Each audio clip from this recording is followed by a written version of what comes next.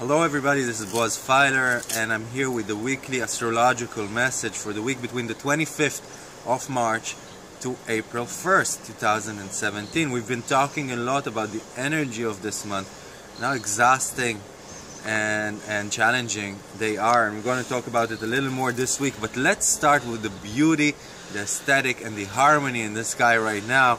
Venus, even though it's retrograde, is in Cazimi, in the heart of the sun, in the 24th, 25th. Even on the 26th, you can still vision. Take a few minutes to visualize and vision how you would like your life to look in the future in all the Venusian aspects.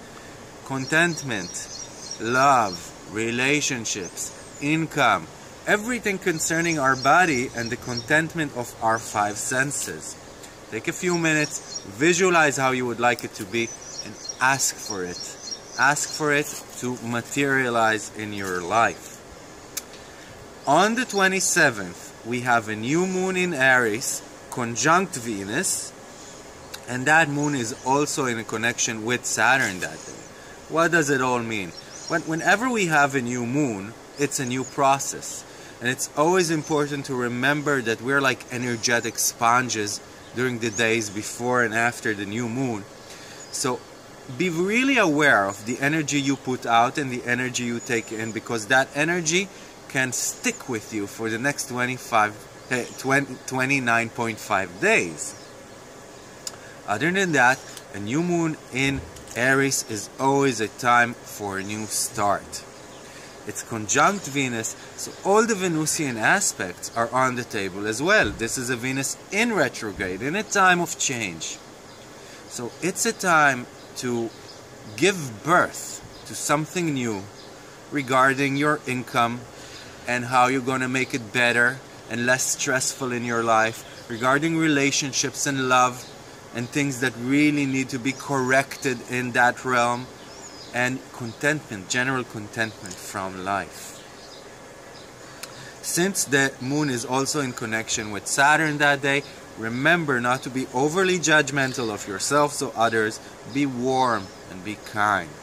Because the 28th, 29th, 30th, and 31st of the month, the moon is in a connection with either Pluto or Mars, and these are days that we should be extra logical and we should be careful not to get caught up in the drama and not to get into unnecessary arguments or fights.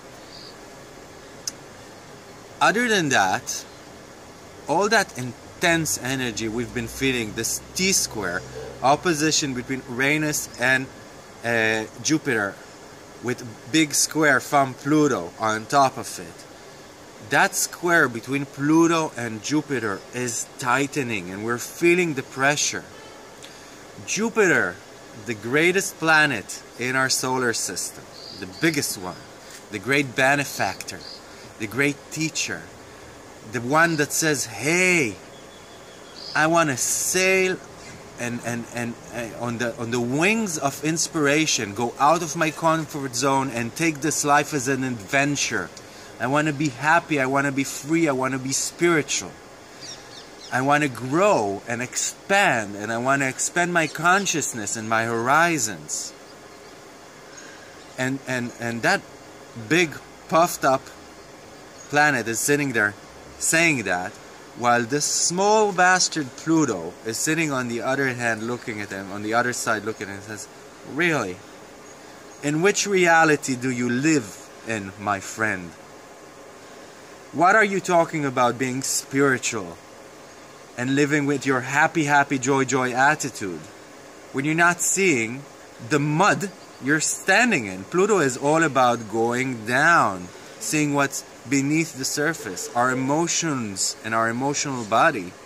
And Pluto says, hey, buddy, before you sail on, why don't you take a look at yourself? Look downstairs, see the mud you're standing in, see the shit you're standing in, and start by cleaning your own house. How can you talk about enlightenment? How can you talk about spirituality when there's so much darkness within you? How can you talk about being happy and living a joyful life when there's so much anger and rage and post trauma that created all this manipulative and, and, and, and and uh, and um, all these behavioral patterns within you that are really negative for you and your environment. Start by making a house cleaning there.